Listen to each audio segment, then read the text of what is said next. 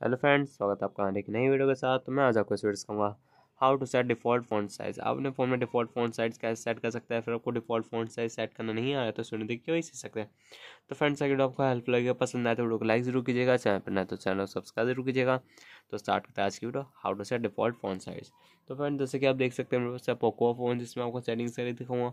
तो मैं आपको बहुत सिंपल से आप इसका फॉलो करके आप भी अपने फ़ोन में डिफ़ॉल्ट फ़ॉन्ट साइज़ सेट कर सकते हैं। तो आइए फ्रेंड्स वीडियो स्टार्ट करते हैं। तो पहले फ्रेंड्स हमें कुछ नहीं है अपने फ़ोन की सेटिंग्स पे आना है। सेटिंग्स में थोड़ा सा स्क्रॉल करें तो इधर डिस्प्ले वाला ऑप्शन दिख रहा होगा। डिस्प्ले वाला ऑप्शन पे आइए, थोड़ा सा स्क्रॉल कीजिए तो इधर आपको टैक्स साइज़ दिख रहा होगा। तो टैक्स साइज़ पे आएँगे। तो आने का आपको डिफ़ॉल्ट पे सेट करना है तो इधर आपको स्मॉल पे सेट कर दीजिए।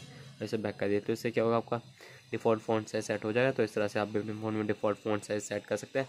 फ्रेंड्स अगर आपको हेल्प लगे पसंद आए तो वीडियो को लाइक ज़रूर कीजिएगा। चैनल नए तो चैनल को सब्सक्राइब ज़रूर कीजिएगा।